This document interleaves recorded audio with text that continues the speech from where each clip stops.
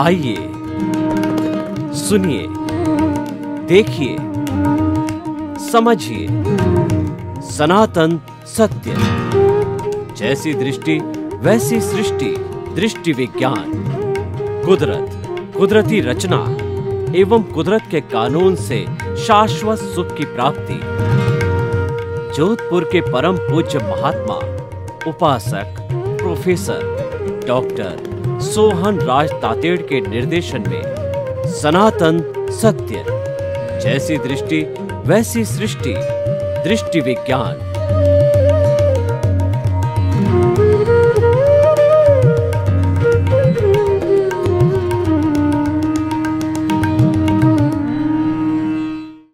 भाई और बहनों, मातृशक्ति को नमन। आज का हमारा बहुत सुंदर विषय श्वास परीक्षा के विविध प्रयोग, श्वास परीक्षा का अर्थ होता है कि आते जाते श्वास को देखना।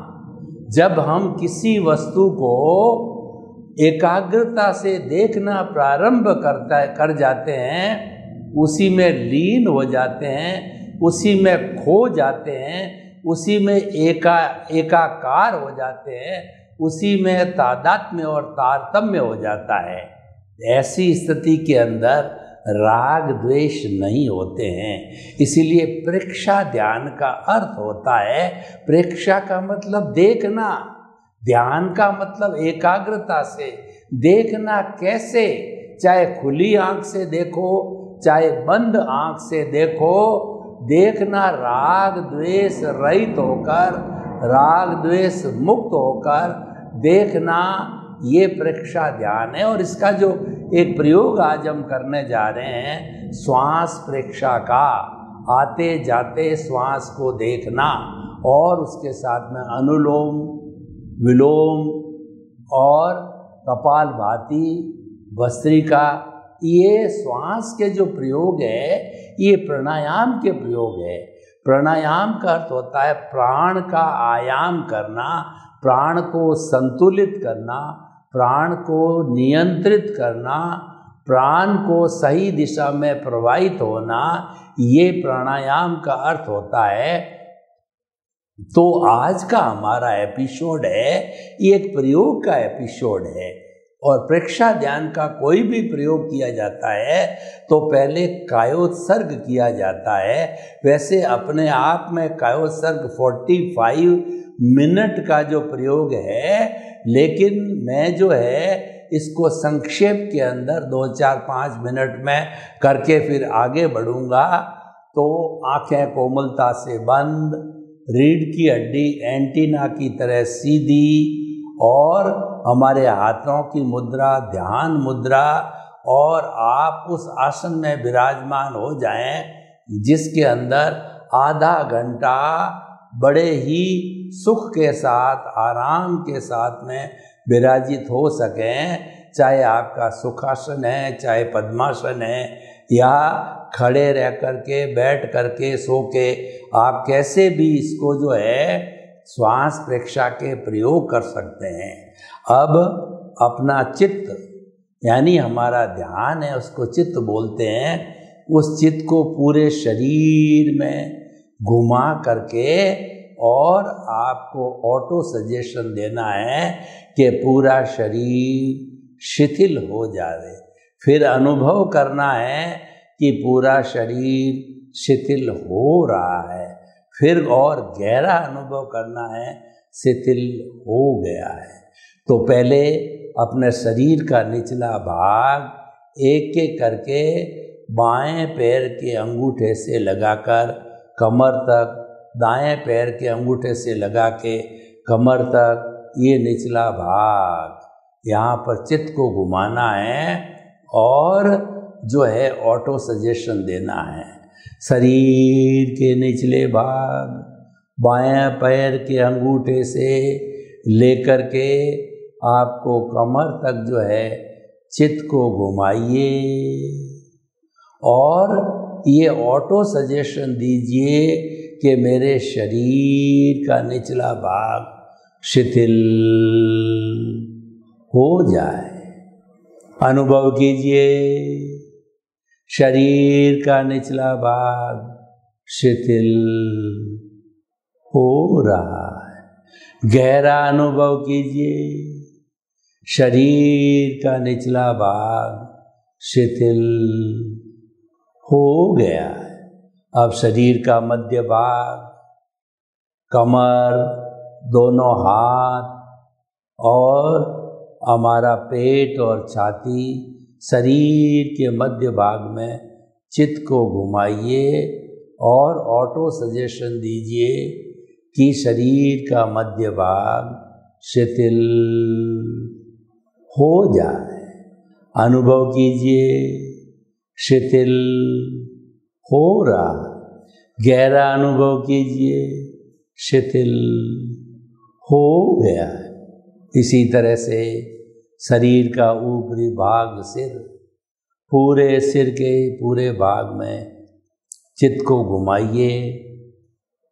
ऑटो सजेशन दीजिए कि शरीर का ऊपरी भाग शिथिल हो जाए। अनुभव कीजिए, शिथिल हो रहा है। गहरा अनुभव कीजिए, शिथिल हो गया। अब एक बार चित्त को पूरे शरीर में घुमाइए ऑटो सजेशन दीजिए, पूरा शरीर। रुई की बाँ हल्का हो रहा हल्का हो गया है। अनुभव कीजिए, मेरा शरीर इतना हल्का हो गया है कि अपने स्थान से ऊपर उठ रहा है। शरीर शिथिल। अब दोनों नथुनों के बीच में चित्त को केंद्रित कीजिए और श्वास को आते जाते श्वास को देखिए, थोड़ा लंबा कीजिए, लंबा श्वास लीजिए। जब श्वास लिया जाता है, पेट फूलना चाहिए। जब श्वास निकलता है, पेट सिकुड़ना चाहिए। लंबा श्वास, गहरा श्वास, समतल श्वास, ठंडा श्वास मेरा श्वास शिथिल हो रहा लंबा हो रहा गहरा हो रहा जब व्यक्ति आनंद की स्थिति में होता है, एक मिनट में सोलह सांस लेता है। लंबा श्वास, गहरा श्वास, समतल श्वास श्वास की संख्या घट रही है। प्रति मिनट सोलह से चौदह, बारह, दस और आठ पे आ गई मेरे श्वास की संख्या घट रही है। लंबा श्वास, गहरा श्वास, समतल श्वास ठंडा श्वास आ रहा है, जा रहा है। शरीर शिथिल श्वास शिथिल अब हम अनुलोम विलोम करेंगे कि जो हमारा राइट साइड का नथुना है, उसको बंद करके लेफ़्ट साइड से सांस लिया। लंबा सांस लें। लेफ़्ट साइड के नथुने को बंद किया, राइट साइड से सांस निकाला। राइट साइड से सांस भरिए, पिंगला से, सूर्य नाड़ी से, और ईड़ा चंद्र नाड़ी में छोड़ दीजिए। चंद्र नाड़ी से गहरा सांस लीजिए, लंबा गहरा। सूर्य नाड़ी से निकाल दीजिए।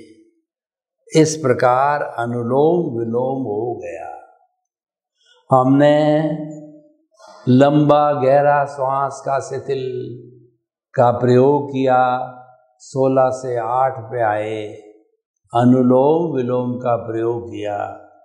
अब हम इसी मुद्रा के अंदर बैठे हुए कपाल भाती, यानी हमारे पेट को जो है, हम ऊँचा नीचा करेंगे और दोनों नथुनों से सांस लेते हुए आराम के साथ दबाव नहीं डालना है, यानी ज़्यादा से ज़्यादा ऑक्सीजन हमारे फेफड़ों में भरे और ज़्यादा से ज़्यादा कार्बन डाइऑक्साइड बाहर निकले, इसीलिए हम ये प्रयोग कर रहे हैं। कपाल भाती का प्रोग्राम प्रारंभ कीजिए, मैं आपको डेमो दे रहा हूँ। फिर आप जितना आपके पास अनुकूल समय हो, उतनी देर तक कपाल भाती करें।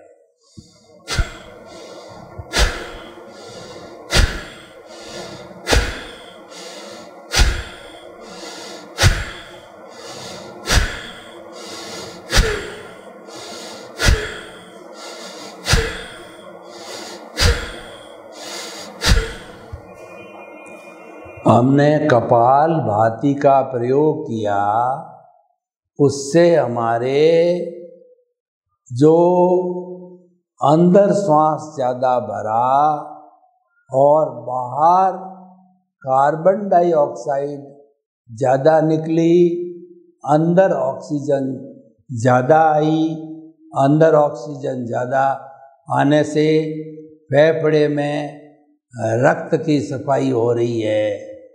तो ज़्यादा ऑक्सीजन लेना और ज़्यादा कार्बन डाइऑक्साइड निकालना, उसके लिए कपाल भाती की जाती है।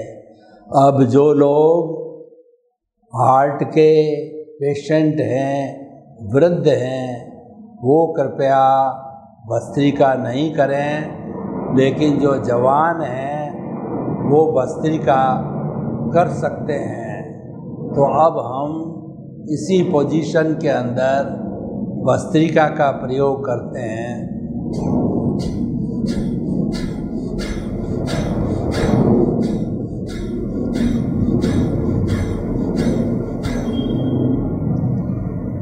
कपाल भाती और भस्त्रिका में अंतर ये है, कपाल भाती में धीरे से लंबा श्वास लिया जाता है। धीरे से लंबा श्वास छोड़ा जाता है।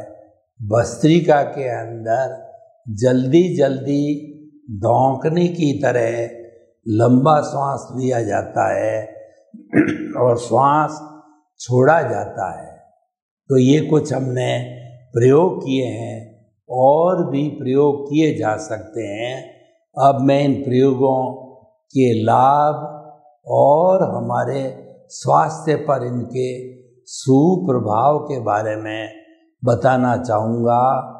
आप धीरे धीरे अपनी आँखों को खोलिए और मूल अवस्था में आइए। ये सारा प्रयोग हमने प्रभु की कृपा, भीतर विराजमान प्रभु जिसकी ताकत से मैं बोल रहा हूँ और प्रयोग कर रहे हैं, उस प्रभु ने हमको आशीर्वाद दिया। उसकी हाजिरी से ही यह प्रयोग हुआ। तो प्रभु का दिया हुआ आशीर्वाद है, वो हमारे दोनों हाथों की हथेलियों पर आ गया है। उन हथेलियों को मसलिए और तीन बार उस आशीर्वाद को अपने सिर के ऊपर जो है स्थानांतरित करें। प्रभु का आशीर्वाद आपको मिला। भाई और बहनों, हमने श्वास जो है परीक्षा के कुछ प्रयोग किए। श्वास के सभी प्रयोग बहुत आनंददायी होते हैं, अच्छे परिणाम देते हैं। ये हमारे स्वभाव को बदलते हैं, हमारी प्रकृति को बदलते हैं, हमारे मूड को बदलते हैं और हमारे कषाय, क्रोध, अहंकार, माया, लोभ को वो उपशांत करते हैं तो देखिए कि जो पहला प्रयोग हमने किया था कि सोलह की जो श्वास की हमारी संख्या थी, वो घट कर के चौदह, बारह और आठ तक आ गई, क्योंकि श्वास को हमने धीरे धीरे लंबा लिया और लंबा छोड़ा। ये श्वास को लंबा लेना और लंबा छोड़ना एक ये बहुत बड़ा संभाव का प्रयोग है। ये करने से, श्वास की संख्या घटने से मैं बड़े आत्मविश्वास के साथ आपको शास्त्रों के आधार पर, मेडिकल साइंस के प्रयोगों के आधार पर बताना चाहता हूँ कि श्वास की संख्या घटाने से जो आपका कषाय है, क्रोध है, मान है माया है, लोभ है, वो घट जाते हैं, उनका उपशमन होता है। तो देखिए, शास्त्रों के अंदर कषाय उपशमन की इतनी बड़ी बात की गई है, लेकिन प्रयोग नहीं बताया गया है। सिद्धांत तो बता दिया गया है कि कषाय उपशमन करने से कर्मों का नाश होता है, स्वास्थ्य अच्छा रहता है, मूड अच्छा रहता है और आप सब, सभी तरह के अपराधों से, हिंसा से मुक्त हो जाते हैं। क्योंकि ये बुराइयाँ कराने वाली, ये चार बड़ी बीमारियाँ हैं। इसीलिए इसका नाम कषाय है। कषाय का मतलब कसने वाला। हमारी आत्मीय गुणों को कसने वाला, आत्मीय गुणों की घात करने वाला, इसी को ही कषाय कहा जाता है। और ये कषाय ही कर्म बंधन का कारण है, जो हमें भव भवान्तर में भटकाने वाले हैं, यही चार कारण है। इनको जीतने वाला जितेंद्रिय कहलाता है, केवली कहलाता है, अरियंत कहलाता है। जितने भी चौबीस तीर्थंकर हुए, सभी ने ये उपदेश दिया, प्रयोग किए, जीवन में उतारा कि इन श्वास परीक्षा के माध्यम से कषायों को शिथिल करके और धीरे धीरे अपने कार्बन शरीर को काट करके, कम करके, घनत्व को कम करके और वो केवल ज्ञान को प्राप्त करके सिद्ध, बुद्ध और मुक्त बने।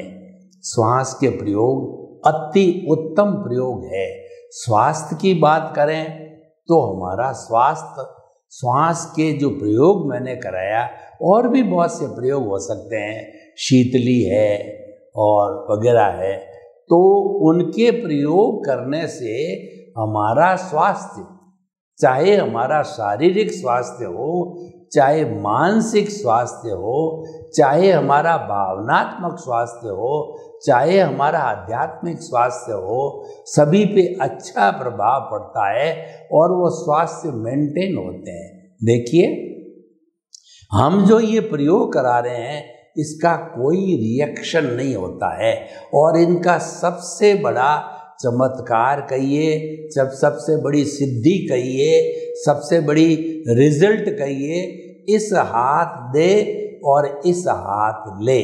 आप इन प्रयोगों को करो और करते ही तुरंत आपको एक परसेंट, दो परसेंट, पाँच परसेंट, दस परसेंट आपको अनुभूति चालू हो जाएगी। हम कोई मेडिसिन लेते हैं तो हम ये जजमेंट करते हैं कि इस मेडिसिन को लेने से दो परसेंट, पाँच परसेंट, दस परसेंट फ़ायदा हुआ तो कुछ समय तक लगातार लेने से हमको पूरा फ़ायदा हो सकता है वह बीमारी जड़ से कट सकती है।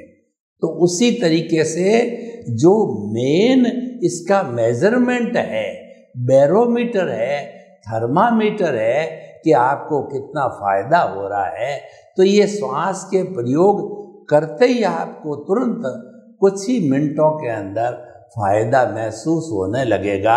आप में हल्कापन आएगा, आपका मानसिक स्ट्रेस स्ट्रेन है, वह समाप्त हो जाएगी और आपके मसल्स जो हैं, वो जो मुलायम पड़ जाएँगे और उसके अलावा आपको मूड अच्छा दिखाई देगा। और मूड अच्छे का मतलब होता है कषाय। कषाय उपशमन हुए हैं, कषाय निर्मल बने हैं और आपका आध्यात्मिक की बात करें तो आपको रुचि जागृत होगी। ये करने से जब हमारी बॉडी में स्टीम स्टेमिना आ जाएगा तो हम ये, जो ये चिंतन करने लग जाएँगे कि इसको तो और किया जाए, लंबे समय तक किया जाए तो जब हमारे में आध्यात्मिक लाभ मिलता है आध्यात्मिकता की ओर हमारा रुझान होता है। इसका मतलब हम भीतरी जगत में गोते लगाने चालू कर देते हैं, अपनी पहचान के कार्य में लग जाते हैं। देखिए, दुनिया में जो है, सबसे कठिन कार्य है अपनी पहचान करना। हम दुनिया को बहुत जानते हैं। एक छोटा बच्चा भी जब गूगल को खंगालता है तो वो कहता है कि मैं तो सब जानता हूँ। इस विषय की मुझे पूरी जानकारी है तो वह जानकारी तो माध्यम से मिली, लेकिन हम अपने आप को कितना जानते हैं? और जो व्यक्ति अपने आप को जानने लग जाता है, यानी अपने स्वरूप की पहचान करता है और पहचान करके उसको धीरे धीरे अभ्यस्त होकर जानने लगता है, फिर उसका रियलाइजेशन करने लग जाता है, जिसको अनुभूति कहते हैं, और एहसास होने लग जाता है कि मन वचन काय से मुक्त, ऐसा मैं शुद्ध आत्मा हूँ। शुद्ध आत्मा की अनुभूति चालू होती है कि ये मेरा शरीर अलग है, मैं अलग हूँ। ये अनुभूति होने से वेद विज्ञान होता है, ज्ञाता दृष्टा, भाव की जागृति होती है, जुदापन की जागृति होती है और अपने आप का अस्तित्व मालूम होता है, स्व पर का विवेक होता है। हम जब भीतर प्रवेश करते हैं श्वास प्रेक्षा के माध्यम से तो हमको सबसे बड़ी अनुभूति होती है कि चेतन मेरा स्व है। जड़ मेरा पर है। यानी ये शरीर, इसे शरीर से जुड़े हुए सब संबंध, सब नाते, रिश्ते, धन, संपत्ति, पद, प्रतिष्ठा, जितनी भी परिधि जो जड़ से बनी हुई है वह पर है। जिसको स्व पर का विवेक हो गया और तो निश्चित तौर से मान के चलिए स्व और पर। इन दोनों की जानकारी होने का अर्थ हुआ जुदापन की जागृति, जड़ और चेतन का जुदापन होना और जो है ज्ञाता दृष्टा बनना मतलब इसको स्व के माध्यम से पर को देखना और उसके बाद के अंदर जो है हमारे को अपनी अनुभूति प्रारंभ हो जाती, भेद विज्ञान हो जाता है। जड़ अलग है। मैं अलग हूँ। जड़ तो मेरा साधन है। ये जड़ रूपी शरीर पिछले जन्म के कर्म के भुगतान के लिए मिला है। ये अलग है। मैं अलग हूँ। और जब ये जुदापन की कार्रवाई चालू होती तो दृष्टि विज्ञान आता है। हमारा सनातन सत्य कार्यक्रम जो हम आपको दे रहे हैं, उसका आधार है कि कुदरत कुदरती रचना और कुदरत के कानून पर आधारित है और ये आधारित होने के कारण हम आपकी रॉन्ग बिलीफ को समाप्त करते हैं, आपकी राइट right बिलीफ को जो है सक्रिय करते हैं तो ये रॉन्ग बिलीफ को समाप्त करना और राइट right बिलीफ को देना इसको कहते हैं दृष्टि विज्ञान। हमारा जो ये सनातन सत्य कार्यक्रम है, यह जो है कोई सृष्टि का परिवर्तन नहीं करता। मन, बुद्धि और जो है चित्त वगैरह कहिए या मन, वचन, काया कहिए, इनके शुद्धिकरण की, इनको सुधारने की कोई भी बात नहीं करती। वह हमारे सनातन सत्य का विषय नहीं है। हमारा तो विषय है कि दृष्टि की आराधना करना, यानी आपके जो भीतर जो एक दृष्टि यानी समझ है, उस समझ के अंदर सम्यक ज्ञान और सम्यक दर्शन को फिट कर देना। जैसे कि हार्डवेयर में सॉफ्टवेयर फिट किया जाता है तो ये हमारा जो मस्तिष्क है, वो हार्डवेयर है, उसके अंदर आप सम्यक ज्ञान दर्शन को फिट कर दो। केंद्र में अपने प्रभु, अपने स्वरूप अपनी आत्मा को रख करके जिसको कि हमें पाना है। हमारे जीवन का अल्टीमेट ये है कि हमारा जो स्वरूप है, हमारा मूल स्वरूप परमात्मा का है। उस परमात्मा स्वरूप को प्राप्त करना हमारा लक्ष्य है, इसीलिए हमने उसको केंद्र में रखा है। देखिए, जब अर्जुन संय द्रौपदी के संयमवर में हाजिर हुआ बहुत से जो है, उस वक्त के अंदर राजकुमार आए थे और पूछा गया सबको तो कोई तो कहने लगा कि मुझे घूमती हुई मछली दिखाई दे रही है। कोई कहने लगा कि जो पिंजरे में ये मछली घूम रही है, वो मुझे दिख रहा है। कोई कहने लगा कि मुझे पानी की परछाई दिख रही है। जब अर्जुन को बोला गया तो उसने कहा, मुझे तो मात्र जिस घूमती हुई मछली की आँख का भेदन करना है, वही दिखती है। उसके अलावा कुछ भी नहीं दिखता है। यानी ऐसा व्यक्ति जो है, जो कि अपने लक्ष्य को केंद्रित कर देता है, वो है हमारी आत्मा को पाना।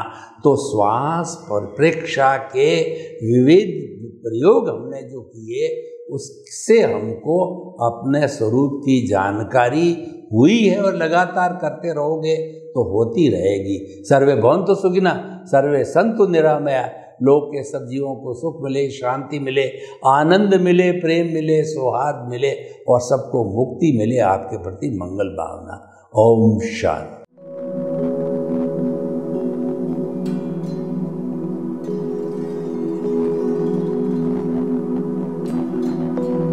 एक ऐसा अंतर्राष्ट्रीय ख्याति प्राप्त मानव जो गुरु प्रेरणा से पिछले 20 वर्षों से वानप्रस्थ जीवन जीते हुए 24 घंटे मानवता की सेवा में संलग्न है। एक ऐसा मानव जो अभी राष्ट्रीय अंतर्राष्ट्रीय टीवी चैनलों पर 7,500 एपिसोड के माध्यम से सनातन सत्य आत्मविज्ञान एवं पुनरुत्थान व्यवहार एवं निश्चय जगत के जीवनोपयोगी विषयों पर हृदय स्पर्शी प्रवचन कर चुका है। उस मानव का नाम है महात्मा उपासक professor doctor Sohan Raj Tated. Professor Tated द्वारा योग, दर्शन, शिक्षा विषयों पर रचित पीएचडी स्तर के 250 शोध ग्रंथ भारत के 100 प्रतिष्ठित विश्वविद्यालयों में शोधार्थी पढ़ रहे हैं। तथा वे सभी शोध ग्रंथ वहाँ की सेंट्रल लाइब्रेरियों में उपलब्ध हैं। महात्मा सोहन राज ने अभी तक हज़ारों स्कूलों, कॉलेजों, विश्वविद्यालयों एवं संस्थाओं में सेमिनार, वर्कशॉप, कैंप लगाकर लाखों विद्यार्थियों को योग, दर्शन, शिक्षा का प्रशिक्षण देकर उन्हें सुसंस्कारित किया। डॉक्टर तातेड़ ने भारतीय संस्कृति उत्थान के चार हज़ार से अधिक समसामयिक विषयों पर आर्टिकल लिखकर ऑनलाइन जनरल पत्रिकाओं, वेबसाइट्स पर प्रकाशित किया, जिसका उपयोग लाखों पाठक कर रहे हैं। उपासक तातेड़ के पाँच हज़ार से अधिक आज का सुविचार, आज का शुभ संदेश, आज का मंगल भावना योग आदि चिंतन websites, Twitter, Blogger, Facebook, YouTube माध्यमों से लाखों लोग अपना जीवन निर्माण कर रहे हैं। मानवता के मसीहा, ऐसे महामानव महात्मा सोहन राज तातेड़ के प्रोफ़ाइल को अभी तक विश्व के 20 लाख दर्शक यूट्यूब पर 12 लाख गूगल पर एवं लाखों दर्शक फेसबुक, ब्लॉगर, ट्विटर और इंस्टाग्राम पर देख चुके हैं।